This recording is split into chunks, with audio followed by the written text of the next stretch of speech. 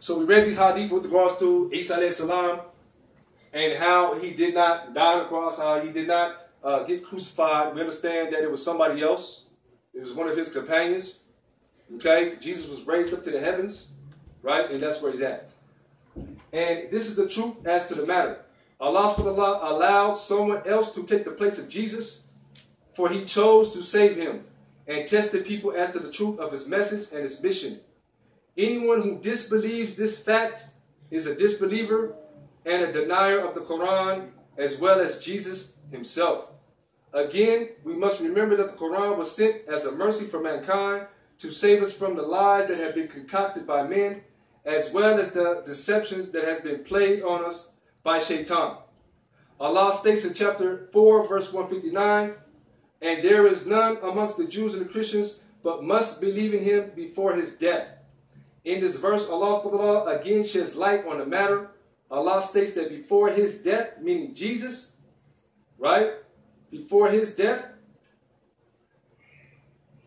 that before he dies, he will come back and clarify the whole matter, and all will submit to the reality of that matter with no other option or opinion. Period. Again, Abu Hurairah stated in the Quran, I mean in Hadith, in Hadith, by Allah, in whose hands my soul is, the son of Mary, Isa, will surely descend among you as a just ruler.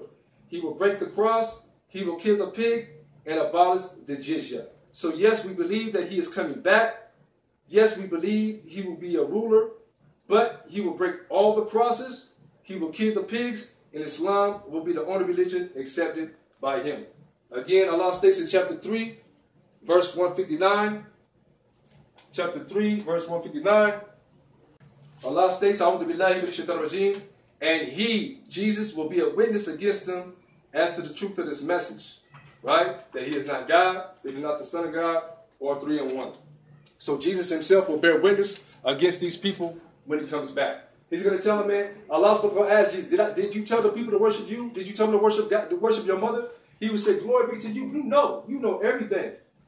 Surely I didn't say that. I said, worship your Lord and my Lord, the one God, your God. Okay? So this is the reality of the man of Jesus, alayhi salam. There's many other hadiths, but I try to make it as uh, simple as possible. Okay? Any questions?